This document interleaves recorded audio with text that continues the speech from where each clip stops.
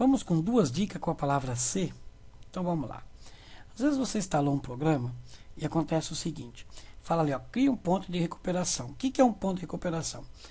É, vamos supor que eu vou instalar um programa agora. Eu crio esse ponto. Se der algum problema, eu volto nesse ponto. Né? Mas como que eu crio um ponto de restauração? Simples. Vem aqui embaixo, nessa barrinha de pesquisa, e digite criar ponto. Olha lá, já apareceu. Dou Enter. Tá aqui, ó. Ponto de restauração. Crie um ponto de restauração agora para as unidades com proteção do sistema ativada. Criar. Tá aí. Né?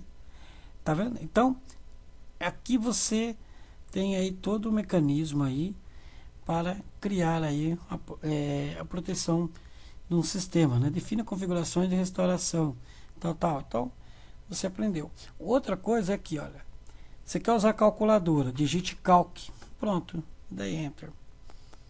Percebeu que grande parte do Windows é usado aqui, né? Muitas pessoas nem usam. Às vezes a pessoa muda do Windows XP para o Windows 7, fala, mas não sei usar, não sei como achar as coisas. É simples, vem aqui embaixo e digita. Calc, estamos aqui, ó. Nós já abrimos.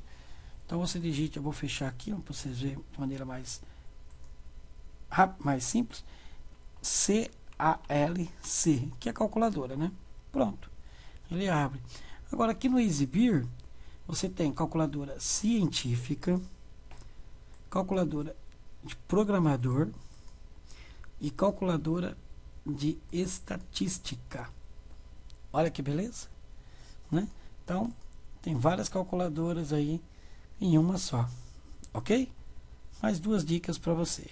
Vamos com mais? Vamos embora. Bem, por hoje vou terminar com duas dicas, tá? Vamos terminar com duas dicas aí, mas são super legal. Vem aqui, todos os programas, acessórios, gravação de som. Você precisa gravar um áudio. Isso é iniciar todos os programas, acessórios, gravação, gravador de som. E aí é só iniciar a gravação. Olha. Um, dois, três, quatro. Interrompi. Ele já dá para mim salvar, né? Então vou salvar aqui na, na pasta gravação, salvar. Fecho. E aqui está, olha. Um, dois, 3, 4. Tá baixo porque eu joguei o áudio para baixo, né? Deixei o áudio pouco, mas você pode gravar aí e depois ajustar, tá bom? Outra dica é que, olha, todos os programas, acessórios, ferramenta de captura. Olha o que ele me pede. Arraste o cursor ao redor do que você deseja capturar tá? Vamos ver aqui antes as opções.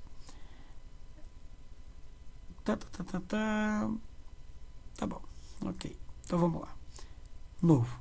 Então ele me pede, arraste o cursor ao redor da área que você quer capturar. Então vamos supor que eu quero esta área aqui, olha. Tô criando, pronto, capturei, olha lá. Perceberam? Que interessante. Né? E aí você facilmente você pode montar aí até mesmo, aí depois ele pede se você quer salvar em HTML, PNG, até em JPEG, né? Então, dessa maneira você monta rapidinho aí uma apostila, tá bom? Foi várias dicas rápidas, mas de maneira simples. Assista as aulas, assista aí a, o vídeo, né? Não é aula, é umas dicas.